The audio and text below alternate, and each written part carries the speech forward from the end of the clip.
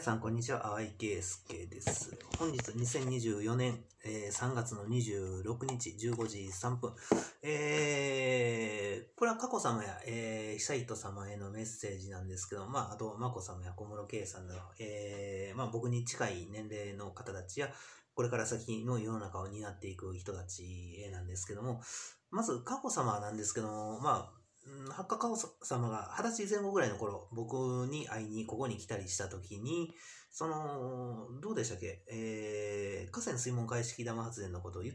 てましたっけ？一緒に撮影、私も連れて行ってくださいとか、その子供の頃に、あのー私も一緒に行きたいとか言ってた。あのーだから昔僕がその撮影してた時のデータってどこ行ったっけ？っていう話になるんですけど、それテレビ局に行ってませんでしたっけ？僕が二十歳ぐらいの頃、だから1998年ぐらいの頃の撮影した、えー内容のもの。で、あとまあ、久人様も僕の家に来た時に言ってましたっけ？その河川水門開始ダム発電のこと。あの、一緒に撮影行くんだったら一緒に行きたいとか、そういうようなこと。それ多分ね、本当にした方がいいと思いますね。で、まあ、今までの公務、例えばね、あの、その河川水門開式ダム発電の、その、撮影とかをね、公務で、えー、行っていれば、一般の方たちからの評価も上がっていたと。エネルギーの残存量問題とワンセットで社会に公開して。あの、うん、緑の輪とか何かちょっとよくわからないような、あの詳しく僕も見てないんですけども、結局、緑の輪って万博のことですかみたいな話になるんですよ。で、万博の件に関しては2000年の頃から僕は強く拒否して、それが正式な内容っていうことで物事固まってるんですよ。だからその後僕、だから正直政治経済に関わってる人じゃなかったら、僕も万博っていうものがどういうものだったかっていうことを忘れるでしょう。いろんな仕事が、こう、たらい回しになってますから、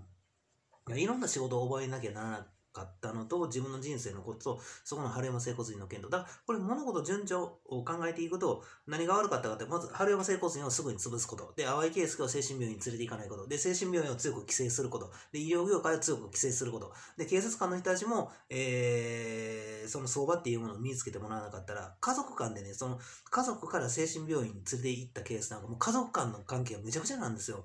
で、それが、あのーその人がしたことに対してそこまで悪いことだったのかって考えたら、罰則金とか今までの判例とかで考えると、そこまでのほど、ほどのことじゃないっていうことになるんですよ。どう考えても。で、三振等以内の請求とかありますしね。あのーちょっとね、えーまあ、今回のこの動画は、えーまあ、佳子様や、まあ、眞子さまもおっしゃってましたっけ？小室圭さんとかも。あのー河川の撮影一緒に行くとか、そういうこと。えーまあ、まあ、子供の頃、えーまあ、佳子ちゃんの頃、えー言っていたのは、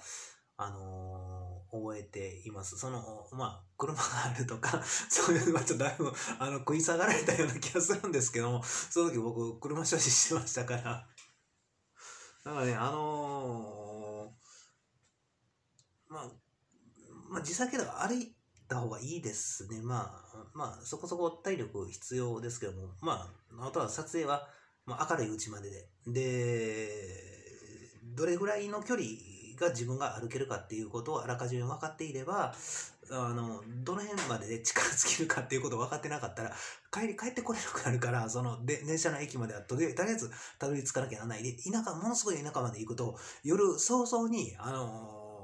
電車終電迎えますから、その都会まであんあんな夜の、あの12時前後までね、その最終の電車動いてくれてないんです。笹山から北の方どうでしたっけ？えっ、とね、新三大駅からそこから北に行く JR に関しては、急激に本数が減るんですよ。新三大駅まではある程度本数あるんですよ。この辺で言うと JR。そこから先はね、一回、あのー天空の城武田城というものを一度自分で見に行ったことがあるんですけども、そこは、もう電車が途中から、あれ、電電車なんですかね？なんですかね？あの、で、電車がこう、正直、ガソリンのエンジンで動いてるような音がするんですよ。で、料金箱が置いてあるんですよ。だからバスを、こう、で、で、形は電車なんですよ。あの、乗り物のその形状は完全に電車なんですけども、エンジン音とか、あれこれガソリンで動いてるのかなっていうようなエンジン音がするんですよ。で、モーター音じゃなくて、で、その料金箱、バス、バスのその料金箱みたいなのを置いてあるから、もちろん無人駅だらけじゃないですか。神戸電鉄も、うん、ほとんど無人ですよ。ほとんどが。そもそもスズラン台からあの西の方へ、三木市へ行く電車、もうそこから一本線ですから、線路。まあね、あのー、あちょっとまあ、この動画もこれぐらいにしておきますね。えー、あんまり長くなると、あれですね。まあ、昔から佳子さま、眞子さま、えー、まあまあ、小室圭さんとかも、まあ、一応、成人様の名前も出てきそうになったんですけど、やっぱり僕は二十歳ぐらいの頃、あの、撮影しに行った時に、成人様も、あの、一緒に撮影に行くっていうようなことをおっしゃってましたっけ？海人様も。正直こう、撮影していて、その、最終的に、あ、これ結構電力発電できるっていうことが分かった時に、あとこうすれば、あの、水害の発生はないっていうところまで話がたどり着いた時に、これは行うべきだってなりませんでした？まあ、その時はちょっとあの明るい未来が見えてきたというか、まあ、そういうふうなあの感覚があったからこそ、その、もしおっしゃられていたらですよ、その時の記憶とか保持されてるかどうかっていうことになってくると思うんですけども、まあ、それは一緒にしてみたかったんじゃないですか。で、まあ一応あの、えー、久糸さんは仮に僕は、あのー、秋篠宮邸、まあ、赤坂御用所に行った時に案内してもらえるような体制とかを本当は行っておくべきだったんだと思いますよ。その、佳子様の件、温度の件も僕もよくわからないんですよ。その、河川水門開式地下水流ストレートトンネル回転飛び屋式発電。まあ、佳子様の場合ははっきり言えるな、なぜか。あのーカッコ様として本当に始めれるのかどうかもよ、僕もよくわからないよ。これは本当に。としか言えないです。本人に会って話し合いをしたことがないから。私が聞きますとかそういうふうなことは言ってはくれていますけども、だけども実質的に、あの、今日も宮内庁に電話かけたんですけど、ああいうふうな状態でしたから、すぐにガチャですから。だから、コンピューターの稼働の仕方が、まあ人間かもしれませんけども、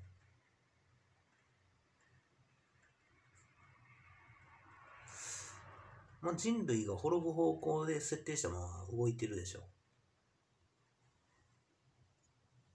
だから、その辺のところを早急に、えー、改善しなければならなかった。自分たちが悪かったとか、あのー、そういうことを認めたくない人たちによって、まあ、そうなってるとしか言えないですね。えー、まあまあ、佳子さまが来られた時に、その家の状態、うん、歳ぐらいの頃でした。2014年の頃ですよね。うん僕も履き終えてないですね。その自分はどう受け答えしていたのかっていうところ。佳子さまとの子供の頃の記憶とか断片的だが、その間に何回か、あのまた精神病院に入れられてるでしょう。だから、これね、あの国会議員とか宮内庁の中にどれだけ妨害してきた人間がいるのかとか、警察官とか、まあ、そういうふうな考え方で物事を進めた方が絶対いいと思うんですよ。だからもうそれは行動を見たらわかるでいいじゃないですか。あその辺のところで、まあ、やめてっていうか、様の声が、いや、だからね、その普通に僕の家に来てもらうのが、人類にとって一番最速の良い、決定的な内容なんですよ。なぜそれを拒否したがるのか僕はわかんないんですよ、本当に。いろんな意味で、気温のことに関しても。で、あのー、結婚問題に関しても、あの、僕と結婚するかどうかはっきりしますし、で、えー、その、まあまあ、行政がお金を払わなきゃなんない、その賃金の不払い等に関して、結局国家賠償法みたいな形になるところはなると思うんです。で、まあ国が建て替えるものになってますから、労働関係のことに関しては。だから同じなんですよ。結局。だから、その辺のところをサポートしてもらっていたら、一緒に参加人とか。そしたら、えーまあ、気温も上がっていたと。まあ、結婚話もそうですけども、そこで気温が上がるのか下がるのか、もうなんとなく分かりますよね。だから、あのーその辺のところでね、あのーうん、だから、まあまあ、いろいろ普通のことを言ってているんですけども、ちょっとこの辺で風が出ていたりだとか、まあ、だからそれは春山整骨院が原因だと思いますよ。今更僕に対して風当たりを強くしてくる人なんかいないでしょう。それは僕に何か、あの、本当のことを言われたら、あの、困る今まで悪いことをしてきていた人たちのはずですよ。昨日のニュースウォッチ9と報道ステーション撮影しながら、あの、受け答えしてる内容とか、あと、やっぱりあれね、あの、これも一般の人たちにも向けてのメッセージなんですけども、テレビは撮影しながら見た方がいい。その方が以前放送された内容かどうかはっきりわかる。だから、まあ、その辺のところも、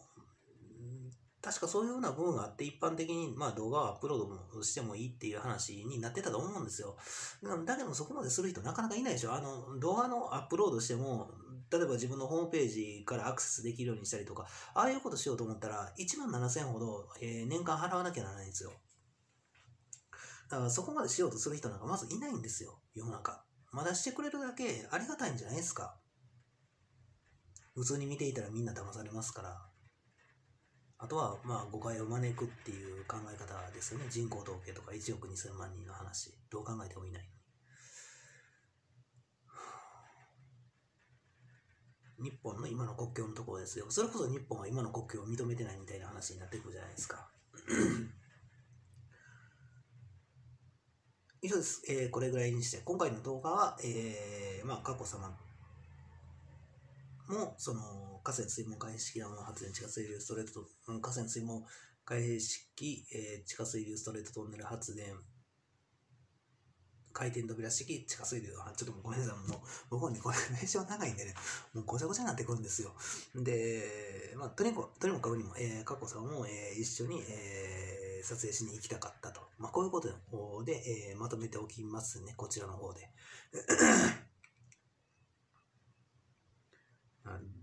そのご自分でもその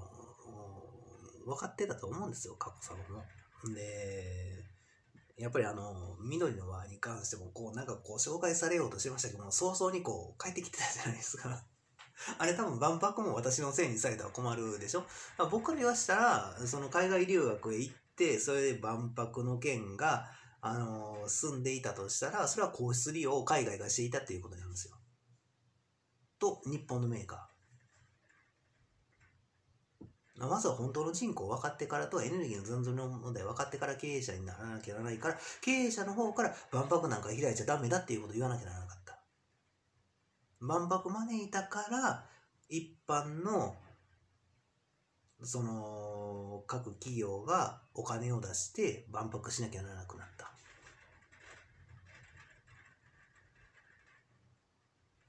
赤字になるか、エネルギーを大量に消費するか、もうどちらかの選択。だったら赤字だったら、早めになくなった方がいいですよね。じゃあ最初に、早々に僕に言われた段階で、すぐに中止したらよかったんですよ。これでストップ。それが一番賢い方法。以上です。えーまあ、この動画は河川水門開式ダム発電地下水流スレートトンネル、まあまあ、その辺のことに関して、まあ、カカソモンも一緒に、えー公務として、えー行いたかったと。こういうことです。以上です。えーそれを妨害してきた人たち、えー何か、えー反対意見を言った人たちが、えー妨害した側で、えー全人類に対しての、えー命とかを軽んじてた者たちです。以上です。